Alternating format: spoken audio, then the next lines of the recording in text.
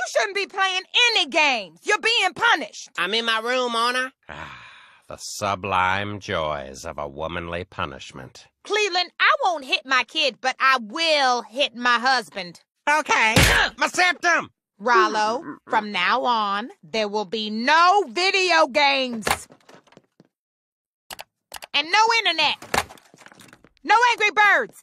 No Angry Birds for Android.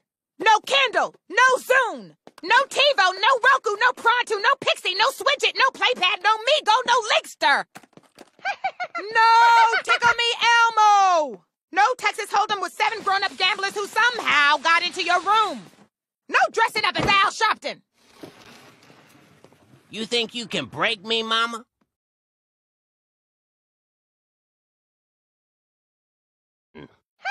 Now you tickle me.